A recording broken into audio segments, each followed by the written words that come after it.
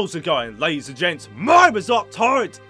And just earlier, I just got, I, blah, blah, blah, blah, I just installed possibly the biggest upgrade I've got so far. Worth 650 quid, it was a 6 core, 12 thread processor with a massive board and a current gen RAM. So uh, this is exactly what happened 8, no not 8, five and a half hours ago.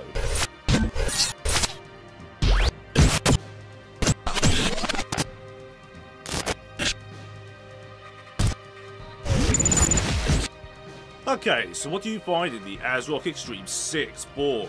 You find two manuals, the SATA cables, there's six in total. You find a 3 and 4 way SLI bridge, this thing, which I chuck on the floor, M.2 screws, and the SLI bridge, which I peel open. So you can see it is all of its anti-static glory the, the uh, rather plain looking I.O. shields, and finally the big blue motherboard. And here's me unpacking it, like an like a complete imbecile. Look at me, I can barely open the thing. Ah, here we go. And now, the processor. £300 worth of hardware. Look at the thing. Looks glorious, and Brother Torrent cannot cannot zoom. Here's me well, cutting it open with not, not using a knife, but using a pair of scissors for some reason. And here's another shot from Brother Torrent showing the nomenclature. Now, the installation. Take this lever off first, and then this lever, if I can get it off. There we go. You can see the 2014 pins in the motherboards. Here's me attempting to install it carefully, with very shaky hands. Line up the notches, give it a little wiggle, and that's about it. And close it sort of like that.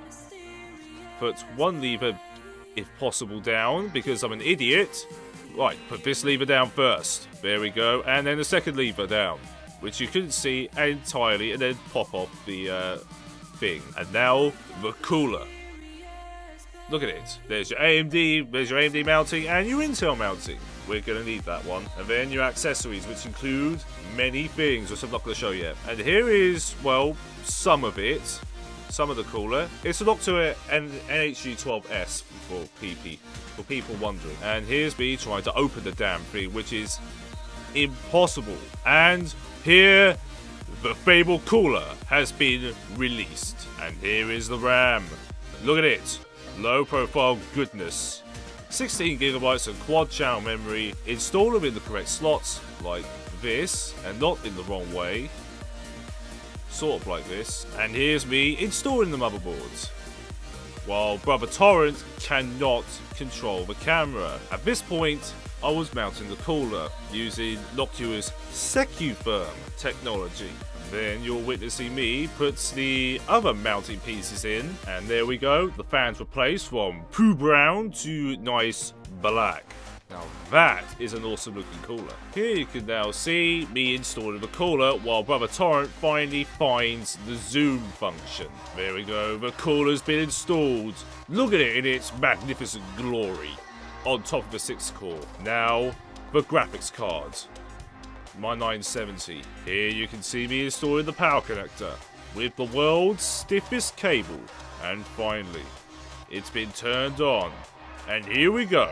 The power is on and oh, there's a there's a problem with it. And after pushing in the RAM entirely, I have now got it working.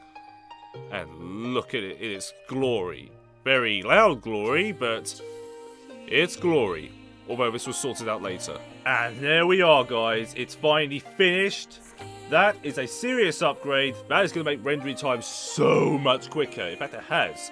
I've tested this on Vegas Pro and I've tested this on Cinebench and it absolutely destroyed my old processor by stupid amounts. There will be a bloopers coming in the next week and stay tuned for a fair update around around Wednesday. So yeah, so yeah, guys, that's it. It's all done. It's fine. It's finally finished. Just one more thing to go. That is another graphics card, so I can get SLI power. But for now, guys, thank you so much for watching this video. If you like this video, go ahead and give this one a big epic thumbs up. And I'll see each and every one of you guys very, very, Much later.